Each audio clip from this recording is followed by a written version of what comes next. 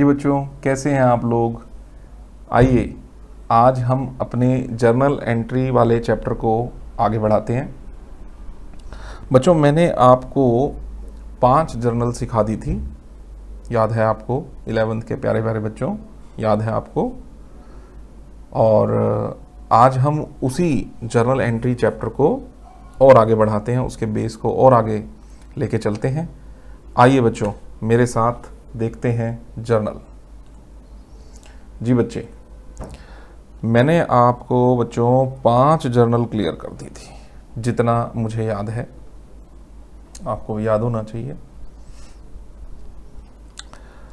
Sold goods to शाम तक की बात बच्चे हुई थी, और मैंने उसकी जर्नल एंट्री आपको बताई थी कि दो अकाउंट इंपेक्टेड होंगे, एक शाम अकाउंट और दूसरा सेल्स अकाउंट, जर्नल हमने कर ली थी। सिक्स एंट्री पे गए बच्चे। क्या? Shyam return 20 percent of the goods Shyam ने क्या किया? जो माल मैंने उसको बेचा था, उसने उसका 20 परसेंट माल वापस कर दिया। ठीक है बच्चे? हमने क्या सीखा बच्चे? Sale, purchase, sale return, purchase return. Right और गुड्स शब्द का इस्तेमाल जर्नल में नहीं करना स्टॉक शब्द का इस्तेमाल भी नहीं करना। हमने माल बेचा था, सेल क्रेडिट किया। अब बिका हुआ माल बच्चे जब वापस उठा रहे हैं, जब हमारे पास सेल का रिटर्न आ रहा है तो हमारे लिए बुक्स में इंपैक्ट आएगा। एक एक अकाउंट पे सेल रिटर्न। आ जाइए। तो पहला जो मेरा अकाउंट इंपैक्टेड हो रहा है बच्चे, वो है सेल्स रिटर्न। और दूसरा जो बच्चों मेरा अकाउंट इम्पैक्टेड आ जाएगा यहाँ पे, वो आ जाएगा श्याम।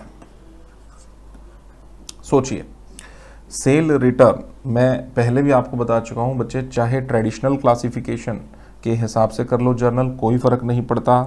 चाहे अकाउंटिंग इक्वेशन कॉन्सेप्ट्स के हिसाब से कर लो बच्चे, ठीक है? मॉडर्न अप्रोच तब भी कोई फ़र्क नहीं पड़ता, जैसे मर्ज़ी कर लो, ठीक है? पर मेरे हिसाब से आप मॉडर्न के हिसाब से कर लो, बच्चों को थोड़ा कंफर्टेबल लगता है उसके अंदर। लेकिन लेकिन लेकिन, मैं आपसे ये नहीं कह रहा कि ट्रेडिशनल अप्रोच को छोड़ दो, बच्चे। एक्चुअली में तो अकाउंटेंसी की क्लासिफिकेशन वहीं पर ही है।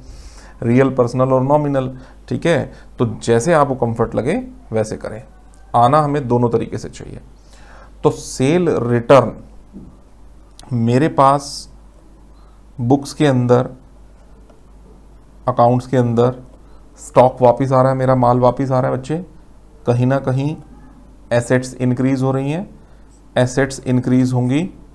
What should I do debit कौन सा अकाउंट डेबिट करूँ बच्चे? सेल्स रिटर्न अकाउंट डेबिट करो। एक बात। दूसरा अकाउंट कौन सा इंपैक्टेड है बच्चे? श्याम। जब मैंने श्याम को माल बेचा था, तब उस समय श्याम कौन बन गया था मेरे बिज़नेस का बच्चे? डेटर अब उस डेटर ने मुझे क्या कहा? सर, अपना सामान वापस ले जाओ। इसका मतलब मेरे डेटर्स श्याम नाम का मेरा डेटर डिक्रीज हो रहा है। तो वडू वडू आई से कि मेरी एसेट्स कम हो रही हैं। और बच्चे एसेट्स कम होंगी तो क्या करना पड़ेगा? क्रेडिट जर्नल आपके सामने है। Sales return account debit to Shyam. एक बात जर्नल तो ये बन गई। माल उसने सारा नहीं बेटे वापस किया। 20 परसेंट। पिछली जर्नल में देखो सात हज़ार का माल बेचा था मैंने उसको। तो बच्चे, सात हज़ार का जब मैंने उसको माल बेचा था तो सात हज़ार का बीस परसेंट वो मुझे रिटर्न कर रहा है। यानी कितने का माल वापस कर रहा है मुझे वो? चौदह सौ रुपये का। तो जनरल एंट्री क्या बन जाएगी? Sale return account debit to Shyam. चौदह सौ रुपये का माल मेरे पास वापस आ गया। वर्ड द पॉइंट क्लियर है बच्चे? चलिए next seventh transaction return goods to Ram अब हम माल वापस कर रहे हैं। अब हम माल वापस कर रहे बच्चे, जब हमने खरीदा था तो मेरी परचेज रही होगी। अब खरीदा हुआ माल जब मैं उसको वापस कर रहा हूँ तो मेरे लिए, मेरे बिज़नेस के लिए बच्चे क्या हो गया? Purchase return. तो दो अकाउंट इंपैक्टेड हो गए। एक अकाउंट राम, दूसरा अकाउंट परचेज रिटर्न। एक अकाउंट राम, दूसरा अकाउंट परचेज रिटर्न राम को जब मैं माल वापस कर रहा हूँ तो पहली बार जब उससे खरीदा था, राम से जब खरीदा था, तब राम कौन बन गया था मेरे बिज़नेस का? क्रेडिटर और मैंने तब क्या किया होगा उसको बच्चे? क्रेडिट क्योंकि मेरी लाइबिलिटी बड़ी थी। परंतु, किंतु, तंतु, अब मैं उसको माल क्या कर रहा हूँ? वापिस. है ना? कोई और अंतु भी रह गया, वो भी देख लेना।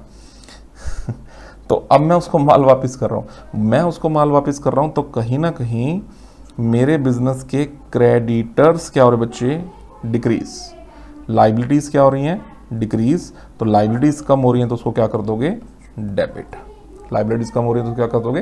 डेबिट तो इस तरह से क्रेडिटर्स की वैल्यू यानी लाइबिलिटीज की वैल्यू डिक्रीज हो रही है तो डेबिट कर दो।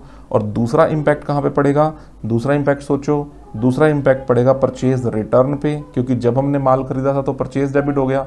अब जब हम खरीदा हुआ माल वापस कर रहे हैं तो सेकंड अकाउंट जो इंपैक्टेड होगा, वो होगा परचेज का रिटर्न और परचेज रिटर्न खरीदा हुआ माल वापस खरीदा हुआ माल वापस stock reducing asset reducing asset reducing तो क्या कर दूँ मैं उसको?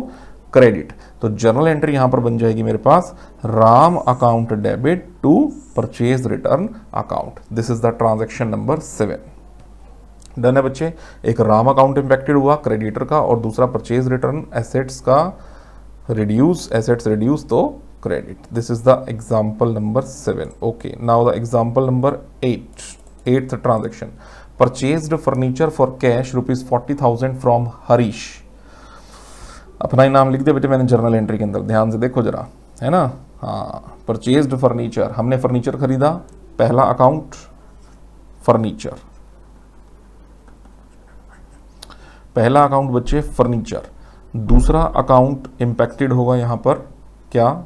कैश पहला अकाउंट फर्नीचर दूसरा अकाउंट इंपैक्टेड होगा बच्चों कैश फर्नीचर नाम की मेरी एसेट क्या हो रही है? बढ़ रही है।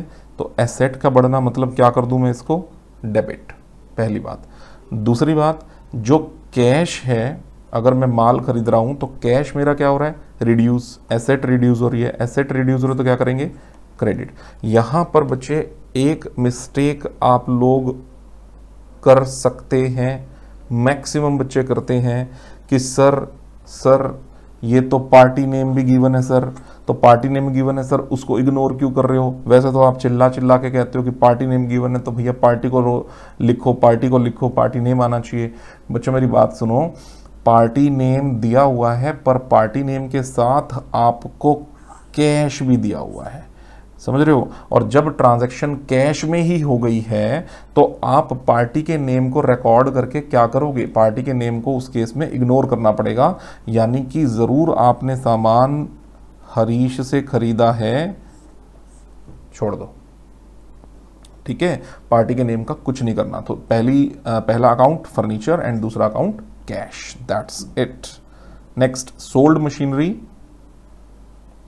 for cash forty eight thousand to Harish हमने मशीन बेच दी है। कितने की मशीन बेच दी है? अड़तालीस हज़ार रुपये की। कैसे? कैश में। तो अब ट्रांजेक्शन पे क्या? क्या क्या इम्पैक्ट पड़ेगा बच्चों?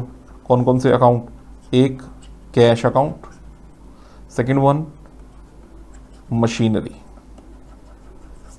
machinery account ठीक है? और हालाँकि यहाँ पर भी पार्टी नेम लिखा हो, पर मैंने जैसा कि आपको बताया कि इग्नोर करेंगे पार्टी नेम को यहाँ पर। आप बस मेन बात देखो। Cash and machine. Cash asset बढ़ रही है। क्या करूँ बच्चे? Debit. Second one machine, asset reduce हो रही है, घट रही है। क्या करें?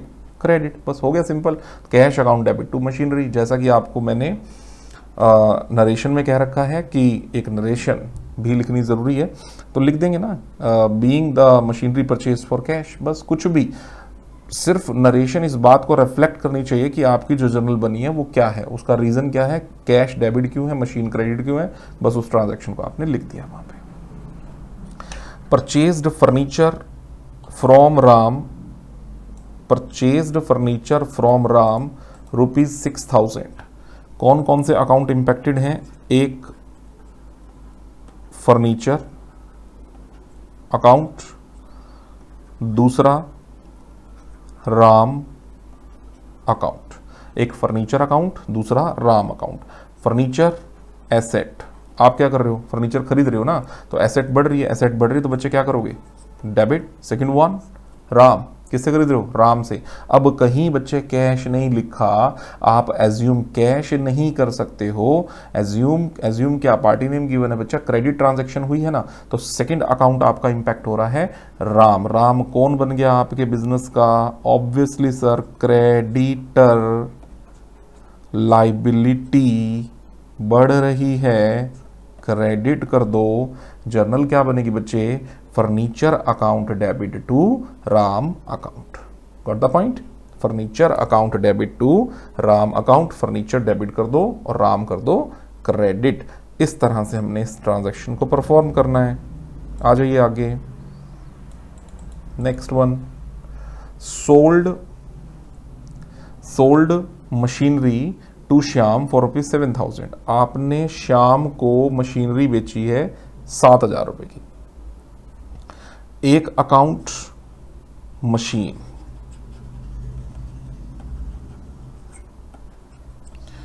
दूसरा account Shyam.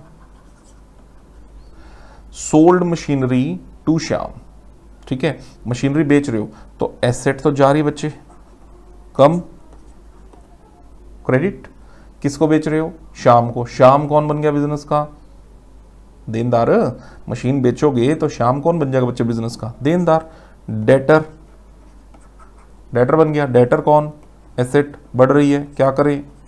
Debit journal Shyam account debit to machine simple ये बन गई आपकी ट्रांजेक्शन जर्नल एंट्री बन गई। Shyam account debit to machinery account got the point चलिए next received from Shyam on account rupees five thousand received from Shyam on account rupees five thousand पहला, दूसरा received from Shyam on account rupees five thousand पहला impact क्या पड़ेगा? देखो, आपको श्याम से पाँच हज़ार रुपए की रिसीविंग हुई है। सिंपल सी बात है।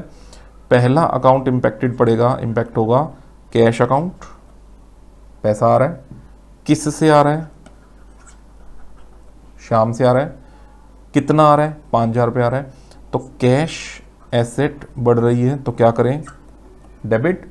और दूसरा शाम से पैसा आ रहा है शाम से पैसा आ रहा है तो इसका मतलब शाम से पैसा लेना होगा, तभी आ रहा है ना शाम से पैसा राइट तो शाम कौन था बिज़नेस का? बिज़नेस का सर डेटर था। डेटर था, देनदार था, और अब उस, एक मिनट लिख भी दूँ ये बेटा, डेटर था। अब उसने पैसा दे दिया तो एसेट क्या हो रही है बिज़नेस की? रिड्यूस हो रही है। और क्योंकि अब दे दिया बेटा तो पाँच हज़ार रुपये दे दे तो कहीं ना कहीं मेरे देनदार रिड्यूस हो रहे ना। पाँच हज़ार से मेरे देनदार रिड्यूस हो गए तो क्या करें इसको? क्रेडिट ठीक है? एसेट रिड्यूस हो रही तो क्या करें? क्रेडिट जर्नल एंट्री क्या बन जाएगी? Cash account debit to Shyam account cash account debit to Shyam account being the cash received from Shyam ठीक हो गया? Next received from Shyam on behalf of Ram rupees five thousand received from Shyam on behalf of Ram rupees five thousand आपके पास cash तो आ रहा है। ये तो पक्का है। Received from Shyam on behalf of Ram देने आपको कौन आ रहा है? श्याम लेकिन किसके बिहाफ पे देने आ रहा है? राम के बिहाफ पे। यानी बेसिकली बच्चे बेसिकली आपने पैसा बेसिकली आपने पैसा लेना किस, किससे था बच्चे? राम से। लेकिन आपको सिर्फ़ देने कौन आया है? Shyam. So received from Shyam, एक तो पक्की बात है कि सर कैश अकाउंट इंपेक्टेड होगा। एसेट बढ़ गई। क्या कर दूँ? डेबिट ये तो पक्की बात है कि इसको क्या कर दूँ बच्चे? डेबिट कैश अकाउंट को क्या कर दूँ? डेबिट और दूसरा, आपने लेना किससे था पैसा? राम से। लेकिन देने कौन आया है? श्याम।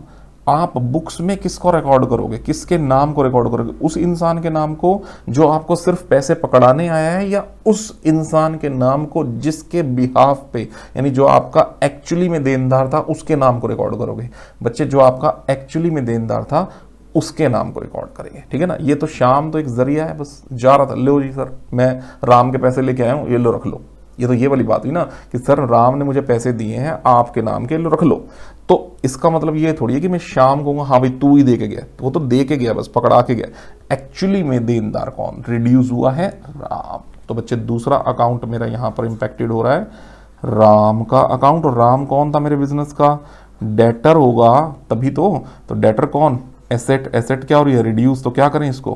क्रेडिट तो जर्नल क्या बन जाएगी बच्चे? Cash account debit to Ram. Cash account debit to Ram. ये हो गई हमारी जर्नल एंट्री। कैश का बढ़ना, राम नाम के डेटर का रिड्यूस हो जाना। Okay next paid salary to mister Sevak Ram rupees five thousand सेवक राम को पाँच हज़ार रुपए सैलरी पे कर रहे हो। सेवक राम ने आपकी सेवा करी होगी, है ना? सैलरी बनती है सर बेटा, पहला अकाउंट तो पक्की बात है, आपको ये समझ में आ गया होगा, सर पैसे दे रहे हैं, sir cash, asset, sir asset reduce हो रही है, सर क्रेडिट, पक्की बात है। यहाँ तो कोई शक नहीं है, इतना तो आपको कर, पक्का पता चली गया। लेकिन अब बात बचती है दूसरी।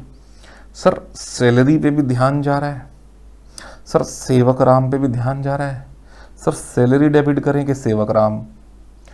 बच्चे, अपने मन के अंदर ये क्वेश्चन पूछो सेवक राम अगर डेबिट करते हो तो सेवक राम के नाम पे डेबिट के पाँच हज़ार रुपये खड़े हो जाएँगे। क्या सेवक राम ने वो पाँच हज़ार रुपये आपको वापस करने हैं? सोचो, करने हैं? नहीं। उसका हक था, उसने आपके लिए काम किया, उसकी सैलरी थी, उसका राइट था वो लेना तो आपने दिया।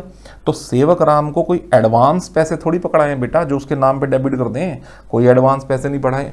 आपने उसको पेमेंट करनी थी सिंपली आपने उसको पेमेंट करी है। तो बेटे, उसके नाम पर आपने उसको कोई एडवांस पेमेंट नहीं करी है। इसीलिए आपका सेवक राम का नाम का लेजर नहीं खुलेगा। कौन सा खुलेगा? सैलरी अकाउंट होगा बेटा सैलरी अकाउंट ठीक है? आपके लिए बिज़नेस के एक्सपेंस है और एक्सपेंस क्या हो रहे हैं? बढ़ रहे हैं तो क्या करेंगे? डेबिट तो जर्नल क्या बनेगी? Salary account debit to cash account salary account debit to cash account और द पॉइंट ठीक है बच्चों? ये हो गई आपकी फोर्टीन एंट्री ध्यान रखना, बिल्कुल भी भूल के भी यहाँ सेवक राम को मार दो क्रॉस क्योंकि सेवक राम को डेबिट करने का एक ही मतलब निकलेगा कि वो आप चाहते हो, आप ऐसा मानते हो कि वो आपके बिज़नेस का डेटर है। डेटर है क्या? अरे नहीं भैया, नहीं। क्या बात कर रहे हो? काम किया उसने, उसका हक था, दे दिया आपने उसको। तो आप उसके नाम को डेबिट नहीं कर सकते हो। आप सैलरी अकाउंट डेबिट करोगे, जो कि आपने किया है। Okay last for today's lecture received rent from Bhagwan लो जी भगवान को किराए पे दे रखा आपने, मकान। है? बड़ी बात करते हैं यार हम। Received rent from Bhagwan rupees five thousand पहली बात तो बच्चे, कोई दिक्कत नहीं है, आपको पहली बात तो पता लगी रही है कि सर कैश अकाउंट जो है ना एसेट जो है ना, सर, बढ़ रही है, सर, उसको तो करो डेबिट। इसमें तो कोई दो राय नहीं है। दूसरा आपके दिमाग में दो बातें चलेंगी। एक, सर, रेंट क्रेडिट करें क्या? और दूसरा, सर, भगवान को क्रेडिट करें क्या? तो बच्चे, भगवान को क्रेडिट, वही ऊपर वाली बात इस आ जाएगी। भगवान को क्रेडिट करने का मतलब आप उस भगवान को क्रेडिटर बना रहे हो, लेनदार बना रहे हो। उसको वापस पैसे करने करने क्या? नहीं। किराया था, आपने उसको अपनी कोई बिल्डिंग, कोई प्रोमेसिस उसको रेंट पे दी थी, आज उसने आपका किराया दे दिया, आपका राइट बनता है किराया लेना। भाई, आपने अपनी बिल्डिंग दे रखी है उसको, आपका राइट बनता है उससे किराया लेना तो भगवान को अगर क्रेडिट कर दिया तो क्रेडिटर बढ़ा लोगे तो वापस भी करने पड़ेंगे पैसे, पर अपने का तो करने नहीं है। इसीलिए भगवान को इग्नोर करो और रेंट को हाईलाइट करो। और रेंट क्या बनेगी बच्चे? बिज़नेस की रेवेन्यू क्या हो रही है? इंक्रीज क्या करें? क्रेडिट तो जनरल एंट्री क्या बन जाएगी? Cash account debit to rent account rent revenue बढ़ रहा है कैश एसेट बढ़ रही है. कैश एसेट बढ़ रही है तो डेबिट रेंट रेवेन्यू बढ़ रहा है तो क्रेडिट ठीक है बच्चे? हो गई? दस ट्रांजैक्शन मैंने आपको इस लेक्चर में कराई बच्चे. सिक्स नंबर मेरी ट्रांजैक्शन से लेके फिफ्टीन नंबर तक की ट्रांजैक्शंस आपकी डन है. किसी को भी हाँ जी बच्चों, किसी को भी, किसी भी तरह का कोई भी डाउट आता है इन दस ट्रांजेक्शन में तो आप मुझे पूछ सकते हैं कमेंट बॉक्स में पूछ सकते हैं, मैं ज़रूर कोशिश करूँगा। मैक्सिमम कुछ भी आपके लिए जो पॉसिबल हो पाएगा, मैं जवाब आपको कमेंट बॉक्स में ज़रूर दूँगा और आप मेरे नंबर पे कॉल भी कर सकते हैं। ठीक है बच्चों? चलिए, मिलते हैं आपसे अगले लेक्चर में।